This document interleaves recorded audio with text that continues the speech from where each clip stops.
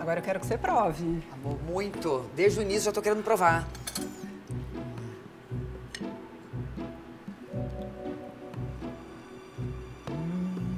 Que tal? Amor, tem um salgadinho com doce, com essa castanha. Meu Deus, é muito bom.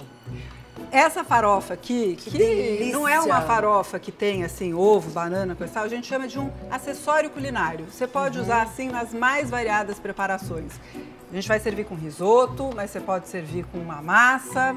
Eu posso usar, por exemplo, essa farofa numa salada? Fica uma delícia, Mônica, uma delícia. E dá para fazer um negócio mais legal ainda, que você já corta um agrião assim que, né, tem aquele amarguinho assim e você mistura junto. Gente, que delícia. Eu amo salada.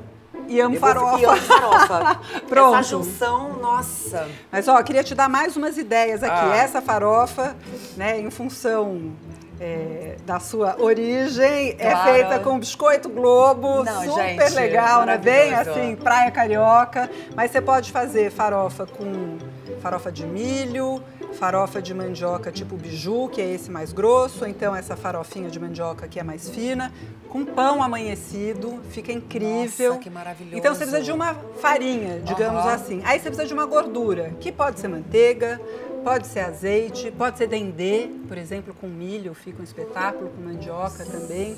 Aí você já dá, né, aquele croque-croque.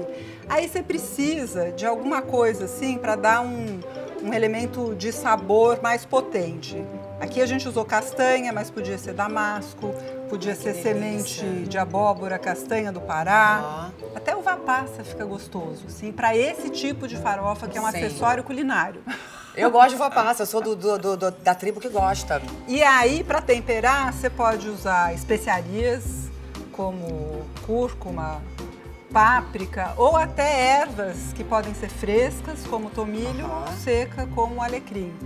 Com esses grupos aqui, farinhas, gorduras, ervas especiarias e frutas secas, você faz farofas incríveis. Gente, eu amo farofa, que coisa maravilhosa. Tô E na praia, isso. hein?